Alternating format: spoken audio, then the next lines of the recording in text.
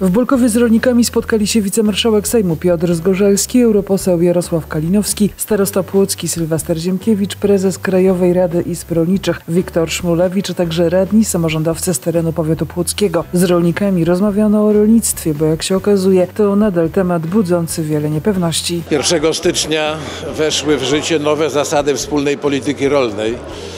Te nowe zasady to z jednej strony bardzo duże kompetencje dla państw członkowskich, czyli tak naprawdę, i tu nie ma przesady w tym, co powiem, o wielkości dopłat bezpośrednich i w ogóle wsparcia tego unijnego nie decyduje już w tej chwili Bruksela, tylko polski rząd.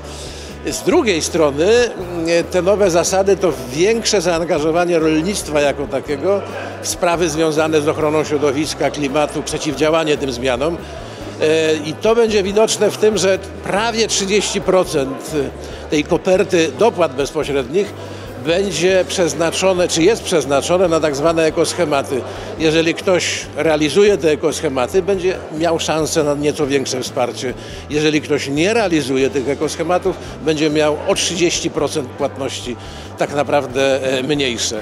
Rozmawialiśmy o wspólnej polityce rolnej i głównych wyzwaniach, które stoją przed rolnikami, podkreśla wicemarszałek Sejmu. Zainteresowanie ogromne. Rolnicy zadawali pytania, wszak mieli przed sobą eksperta, także kolegę, bo Jarosław Kalinowski jest rolnikiem, ale też człowieka, który wprowadzał Polskę do Unii Europejskiej i odpowiadał za sprawy rolne i o negocjacje.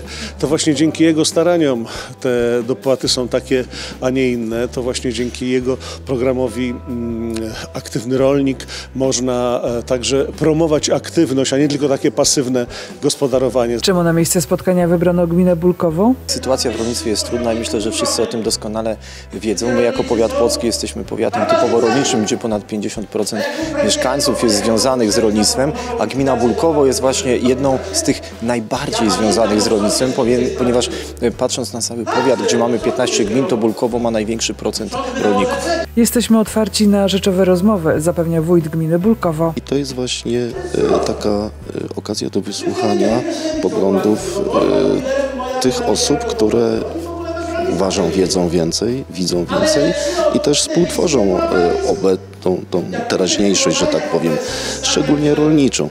Dlatego gmina Bulkowo, bo właśnie to, już zostało podkreślone, jesteśmy chyba najbardziej albo jedną z najbardziej rolniczych gmin na terenie, gmin, na terenie powiatu płockiego. Stąd to spotkanie o zasięgu powiatowym właśnie tutaj. Kolejne podobne spotkania planowane są w najbliższym czasie w kolejnych gminach powiatu płockiego.